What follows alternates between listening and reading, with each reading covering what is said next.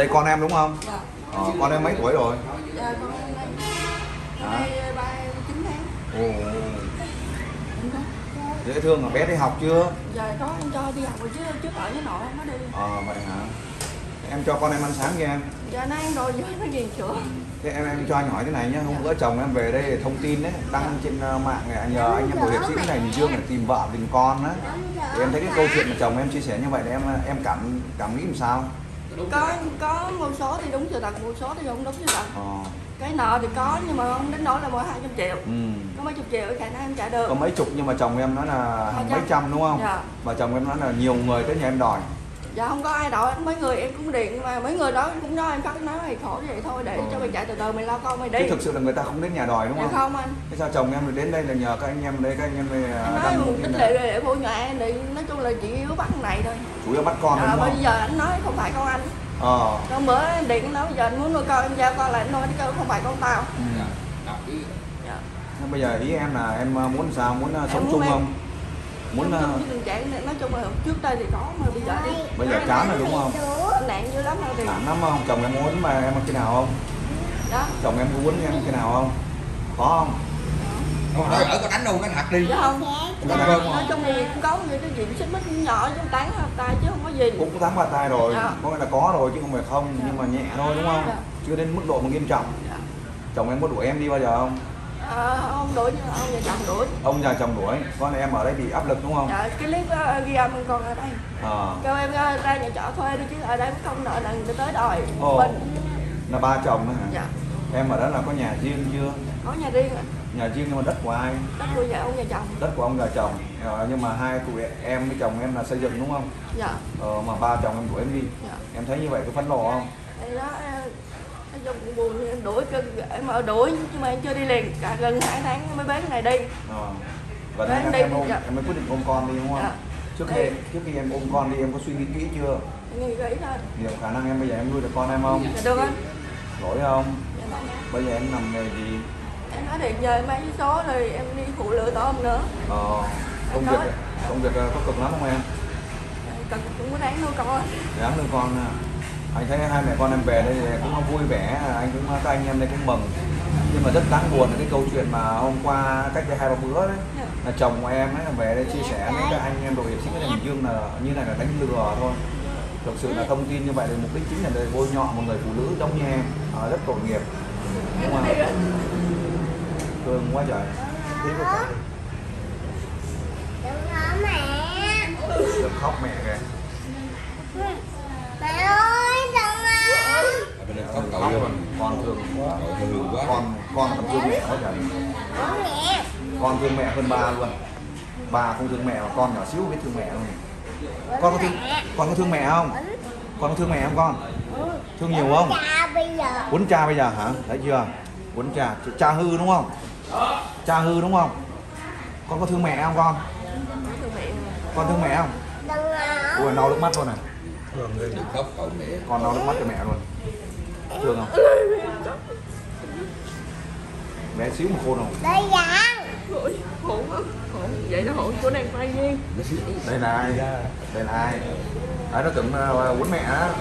Bảo vệ mẹ. Nói chung đâu có bánh mẹ đâu. Chú quấn ba nha quấn ba con nha. Quấn ba con nha. Cha mẹ. À quấn ba ha. Quýnh Quýnh cha bây giờ. Quấn cha bây giờ. Thế bây giờ chú quấn mẹ được không? Quấn mẹ con được không Không ha Bây giờ sao ồ. Mẹ chết ồ. Con có thương mẹ không? Ừ thương là thương nhiều không? Chết quấn mẹ gì? Giờ nó nữa Con nhiêu tuổi rồi? con mấy tuổi mấy rồi? tuổi con mấy tuổi? Con mấy tuổi nó chú nghe đi con mấy tuổi? Con mấy tuổi rồi? À, lời khuyên này bây giờ ấy thì à, thực sự anh em sẽ ghi nhận cái thông tin của em. Lát sẽ vô đây trò chuyện thực tế cái câu chuyện của em. Sẽ đăng tải tất cả trang mạng xã hội để lấy lại cái sự công bằng cho em bởi vì à, chồng em trong thời gian vừa qua về đã về đây. người đã bình luận cái đi ừ. ai mà muốn ba bốn thằng chồng á Ừ.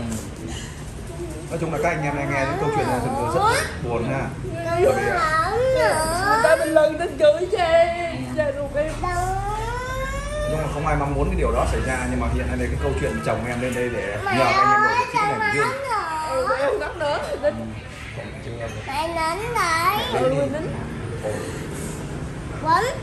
Khổ cương mà nhỏ mà khôn. Lý do chồng ờ, của chị là lên đây chỉ bôi bôi nhỏ chị thôi. Nói Dạ. chuyện không sự thật. Chứ không có tốt lành gì đâu. Rồi rồi chồng thấy thấy nói chuyện thấy không ưa rồi. Dạ, nói cô ơi là anh nghe lời mấy lần đi đi. Anh cố tình đưa con về để cho cha ông bà cho mẹ tôi thôi. Cái giải quyết số nợ mẹ nó đi.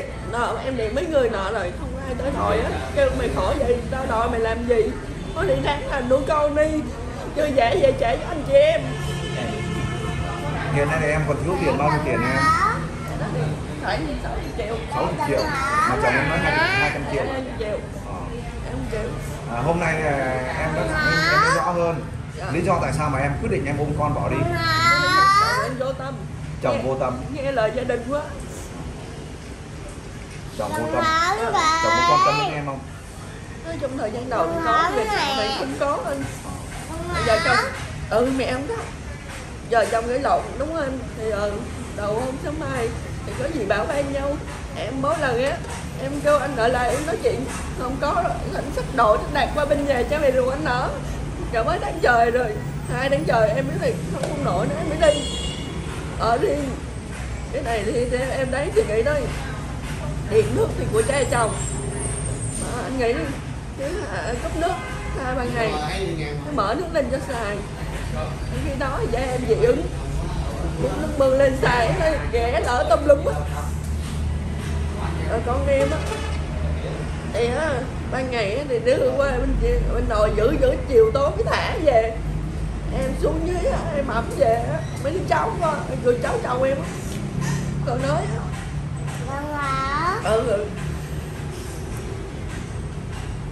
Nhưng á thứ tư không có quyền giảm bây giờ này nè trong những ngày vừa qua thì chồng em về đây báo thông tin cho anh em đội hiệp sĩ tỉnh Bình Dương là em nghi ngờ là em ôm con đi vì thiếu tiền nhiều. Dạ và chồng em em- chồng em khẳng định là em không dám về đó vì em thiếu quá nhiều bởi vì em hiện nay em bị sai rất nhiều rồi. Em đi xa này cũng đâu mà đính chính rồi em đi xa không phải là em thiếu nợ. Ừ. cái thứ nhất em trước khi em đi em thằng này đi á thì em mướn nhà trọ. Em ở rồi còn hai ngày nữa tại em có nộp đơn ở tòa để nhân quyền của con. Hai ngày nữa ra tòa thì anh mới kêu gia đình ảnh để nắm cho người tới quýnh em. Em có Ồ. thưa ở ngoài Phan Bình Thành với Bình Hòa á nhưng mà thưa nhưng mà người ta kêu em bây giờ là kiếm giấy chứng thư nhưng mà em nghĩ tài quýnh không có nhiều. Đáng á còn em bốc nó. Có nhiều người kêu bây giờ cần thì người ta mấy người người ta chứng kiến ta lên chứng đó vậy mới em ở đây cả năm trời em đâu có đi xa cách nhà nó chừng năm cái cây à. Em mới đi chợ em ở. Thì nơi đơn đi em ở đó thì người ta cũng đâu tới đòi. Trả ừ để nói chuyện không thì em ở đó cả năm trời á đến hồi thời gian này em thấy kỳ quá. Tại vì cũng tới lui chăm con. Nhưng mà hỏi anh chứ, con ruột em mà người ta ngồi như cánh tàu vậy á. Rồi em ẩm con để xe em lại cũng đi theo. Rồi em nói đi em có xin phép cho cha nè. Lâu lâu á, cho con chở con con đi chơi tiếng, hai tiếng về con trả ông bà không cho. Nói là không cho, để muốn từ từ đi. Nói thì con em giống như là em không được quyền gì hết thì nó dòng nó vậy thôi. Chứ còn là gần như chồng em không có trách nhiệm gì với à, bên bên em với Cái này. con đúng không? Hồi trước thì có có nhiều công việc của anh nói là một phần nữa chứ không phải em đòi lỗi hết một phần cái té nợ này ra cũng là lỗi gia đình. Cái nhà nói chung anh cất có có hơn anh cất đồ đạc trong nhà cha chồng mẹ chồng đâu có cho thứ gì. Mọi thứ là em buôn bán em lo những tháng thất nghiệp anh làm bữa được bữa cái. Có bữa nào đâu. Anh tin nếu mà cái anh tin thì anh về sống với anh điều tra coi thì đến Ừ. như này nè hôm bữa chồng em về đây thì chia sẻ cái câu chuyện là vì lý do là em nợ lần nhiều. Dạ. Và hiện nay nhiều người đến nhà em đòi tiền nhà em em Dạ. quê quá em bỏ con ôm con bỏ trốn. Dạ. Ờ, nhưng mà thực sự là đến bây giờ đến phút à, anh em đã ghi nhận cái thông tin của em ấy thì à, nắm bắt được. Dạ. Thì cái thông tin nó trái ngược lại. Có là chồng em lên đây là nói hoàn toàn là sai sự thật không đúng sự thật. Dạ à, và những số tiền mà vay mượn hiện nay là em đang vay mượn thiếu năm sáu triệu chứ Dạ. không phải hai trăm triệu. Dạ. Mà số tiền đó không phải em ăn xài mà tiền đó là tiền mua sắm về gia đình nội thất trong gia đình đúng không? Dạ. sinh hoạt trong gia đình đúng không? Là không cả gia đình chứ không phải một mình thì em. con nó thất nghiệp thì em nói chung nhiều chuyện chứ mà bên nội thất không? Thì vì vậy cho nên là hôm bữa thì các anh em đội hiệp sĩ thành chuyên vừa rồi đăng thông tin của em lên thì rất là nhiều các cô chú anh chị ở tất cả các vùng miền. Vừa rồi phản ánh cái thông tin của em rất nhiều bởi vì Dạ. rất nhiều người đã chỉ trích. Dạ. à, em trong thời gian vừa qua nói em là người à, không tốt. Bởi vì thực sự nếu như một người phụ nữ mà ôm con bỏ đi mà không có làm ăn gì mà chỉ có bán vé số không mà lợi lần nhiều như vậy Dạ. thì thực sự là rất nhiều người trách em là phải rồi. Dạ. nhưng đến giờ phút này có thể là các cô chú anh chị mọi người sẽ hiểu được cái câu chuyện này hơn và thông cảm hơn và sẽ thương em nhiều hơn. À, vì thực sự chồng em là một người à, rất vô tâm đến giờ các anh em ghi nhận rồi. À, anh em cũng đã ghi nhận và cũng đã lên tiếng và gọi điện cho chồng em nhưng mà chồng em bây giờ là không dám về đây và không dám tiếp xúc với anh em nữa bởi vì hôm bữa là về đây đã lừa anh em rồi. Ờ, à, không? chính vì lý do là lừa rồi thì bây giờ không dám về đây được đối chứng ba mặt một trời. Em có điều nào em muốn chia sẻ trên video này để hy vọng là chồng của em cũng như gia đình của chồng của em hoặc tất cả các bạn bè của em hoặc các cô chú anh chị trên tất cả trang mạng xã hội biết và hiểu được uh, thông cảm cho em cái câu chuyện này? Thì em muốn nói cho đi cộng mẹ bạn ai cũng có quá khứ ai cũng không muốn cuộc đời mình đau khổ. Cho nên các anh chị đừng chơi giết em nữa em nói với chồng em á. Đâu có mẹ. À đừng cho em đừng thế này không đây đừng đừng. Thôi đừng có chơi chết em bôi nhọ em như vậy. Cho em con đừng sống để nuôi con. Mẹ ơi đừng đừng có